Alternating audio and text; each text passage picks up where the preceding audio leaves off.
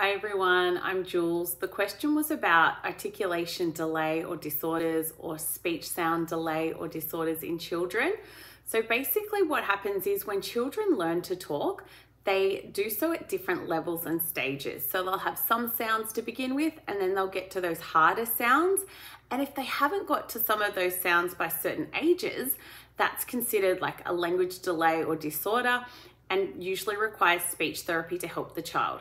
It helps them communicate clearer, learn those sounds, and it also helps with their reading and writing skills.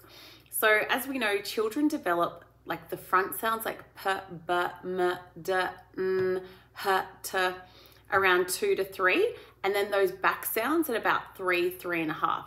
So that's probably one of the most common sound or phonological delays that we see, which is where the sounds at the front of the mouth are still happening and the sounds at the back of the mouth haven't come yet.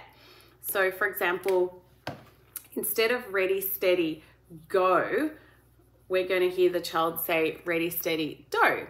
So they're still saying the d sound instead of the g sound at the back.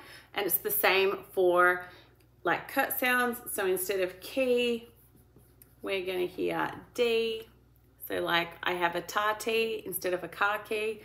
The funny thing is, is that a lot of parents already decode their child's speech sound errors and even their teachers.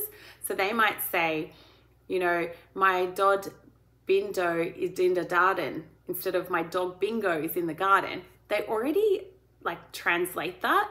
So the trick or the measure is, is that it's an unfamiliar adult um, needs to be able to kind of understand your child or, or a child. So, because we can't always decode those errors when haven't been around the child as much.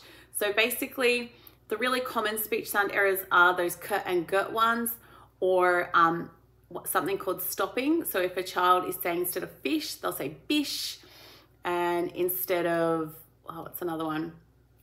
Um, say, they'll say tay. So it's where they haven't got the airflow going through in their mouth. And again, it kind of translates to a lot of different sounds and it obviously makes them harder to understand. And then they can get frustrated because they're not able to get their message across.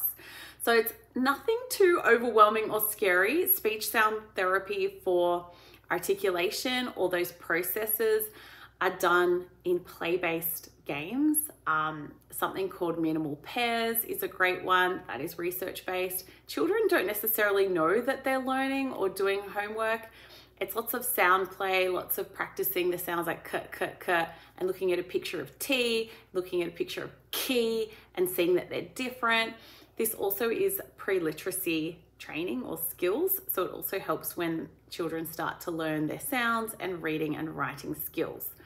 So basically, the most common ones are children finding it hard to do k and g, s, f, and the er or the ul sound.